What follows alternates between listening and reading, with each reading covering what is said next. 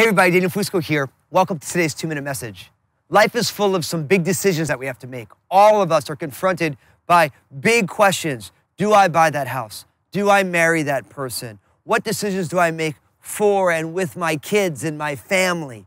These are huge decisions. How do you make them in such a way that you make good decisions? First, most importantly, is God glorified by that, this decision? The best decisions are the ones that God wants us to make.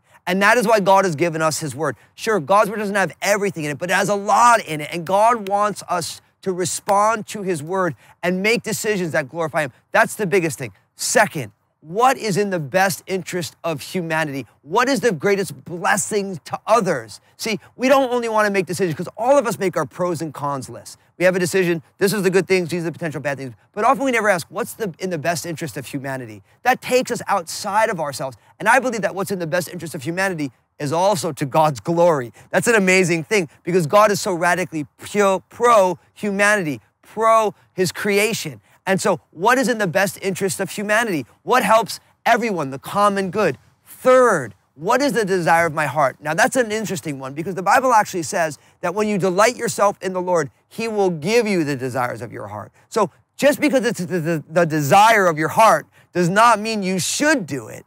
But if you're delighting yourself in the Lord, God transforms and conforms your desires to his desires, and then he wants to give you the desires of, his, of your heart. So, what is the desire of my heart? And is my heart delighting itself in the Lord? Now, listen, let's respond to this. What big decisions do you have in front of you? I want you to write them in as a comment because we want to be able to pray for one another. One of the things I love so much about what we do is that it's so easy to pray for one another. So, write in, this is my big decision in a comment, and then people are going to like that because they're going to be praying that God's would be glorified, that the common good humanity would be served, and that it would be the desire of your heart as you delight yourself in the Lord. And we want to be able to pray for one another. Please share this video.